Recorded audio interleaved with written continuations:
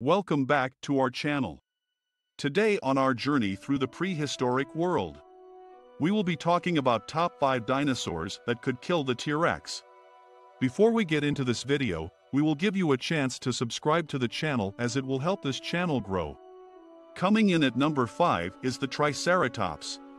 The Triceratops may be a herbivorous dinosaur, but could be deadly at any given moment. The Triceratops are equipped with three big horns sitting in front of its skull. Able to pierce through any type of skin or hide, and could easily be deadly if it feels threatened. If you know a little something about dinosaurs, then you would know that Triceratops would travel and live in packs. If a Tyrannosaurus rex were to attack a Triceratops usually going for the youngest, the Triceratops would be no easy fight and the T-Rex being massively outnumbered should consider walking away. Number 4. The Utahraptor. This dinosaur is built to kill, with its massive sharp claws. Speed and razor-sharp teeth would any dinosaur who ran into one of these groups of raptors be in big trouble. The Utahraptor is no ordinary raptor. Usually raptors are thought of as small fast predators. But the Utahraptor measuring up to 18 to 24 feet in length. This made it less agile compared to the other raptors, but the size made it even more deadly in a fight against a Tyrannosaurus rex.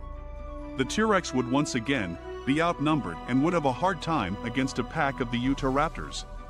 Number 3. The Ankylosaurus. This is one of the most heavily armored dinosaurs to ever roam the earth, giving it the nickname the prehistoric tank. Its most deadly feature is the club sitting at the end of its tail.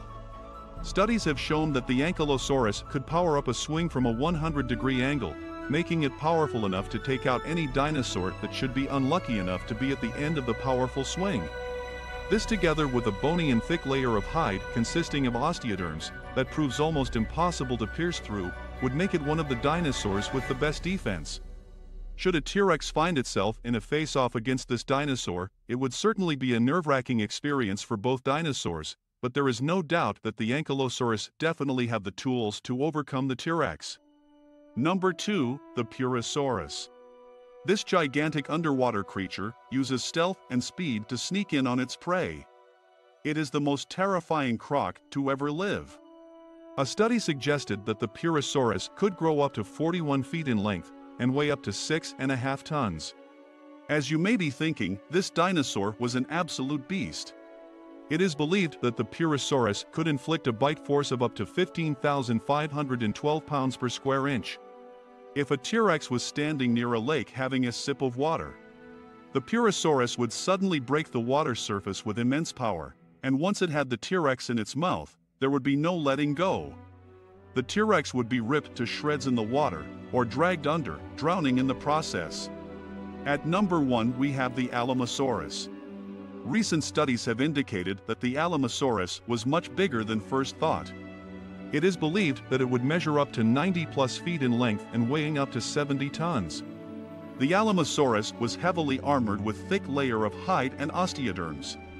This would make it tough for any predator to pierce through, T-Rex was no exception.